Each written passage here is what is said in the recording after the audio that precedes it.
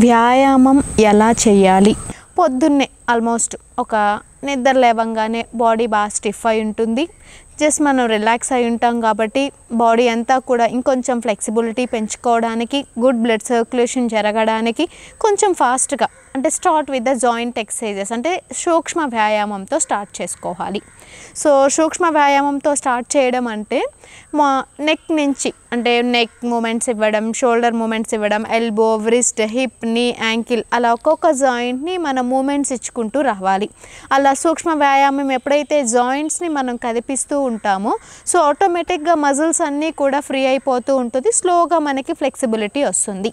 So అలా లేచినాక అంటే మీరు ఆల్మోస్ట్ వ్యాయామం ఏదైతే ఉందో అది స్టార్ట్ చేసిన తర్వాత first fifteen minutes you have to practise సూక్ష్మ వ్యాయామం.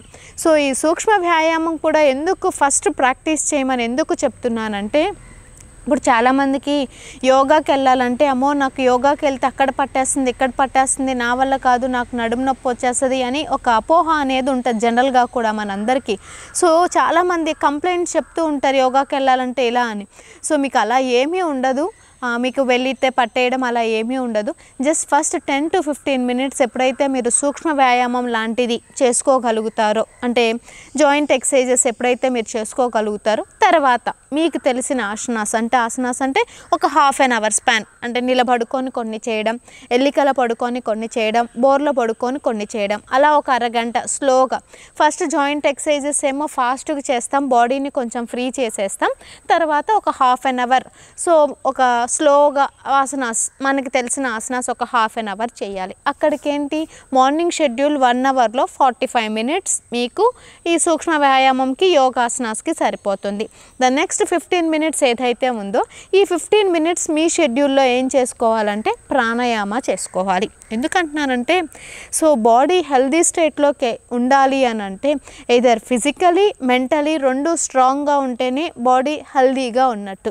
ఇప్పుడు ఆ ఫిజికల్ స్ట్రెంగ్త్ ఫ్లెక్సిబిలిటీకి మనం ఏం చేస్తున్నాం? సూక్ష్మ వ్యాయామం యోగా చేస్తున్నాం. మెంటలీ ఇంకొంచెం స్ట్రాంగ్గా ఉండాలన్నా లంగ్ కెపాసిటీ బాగా పెరగాలన్నా సరే బాడీకి గుడ్ అమౌంట్ ఆఫ్ ఆక్సిజన్ అందాలన్నా ఈ ప్రాణాయామం డెఫినెట్గా చేయాలి. అలా ఫస్ట్ ఫిఫ్టీన్ మినిట్స్ ఏమో సూక్ష్మ వ్యాయామం చేస్తారు.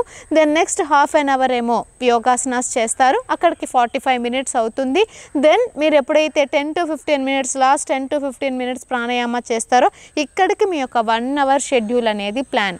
ఇప్పుడు మనకి యోగా వన్ అవర్ చేయాలి మళ్ళీ సాయంత్రం వాకింగ్ చేయాలి. ఇలా ఏమీ చెప్పట్లేదు.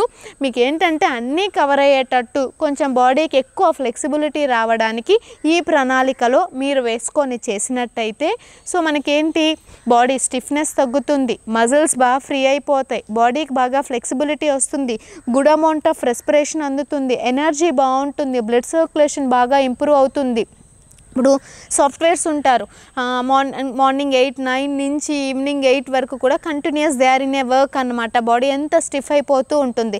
సో వీళ్ళకి ఎప్పుడైతే వ్యాయామం లాంటిది చేసుకుంటూ ఉంటారో ఫిజికలీ స్ట్రెంగ్త్ అవ్వగలుగుతారు మెంటలీ స్ట్రెస్ ఫ్రీ కూడా అవ్వడానికి ఇలాంటి ప్రణాళికగాన మనం సిద్ధం చేసుకున్నట్టయితే సో ఇలా ఫిజికలీ కానీ మెంటలీ కానీ మనం స్ట్రాంగ్ అవ్వడానికి బాడీని హెల్దీ స్టేట్లో తీసుకోవడానికి బాగుంటుంది.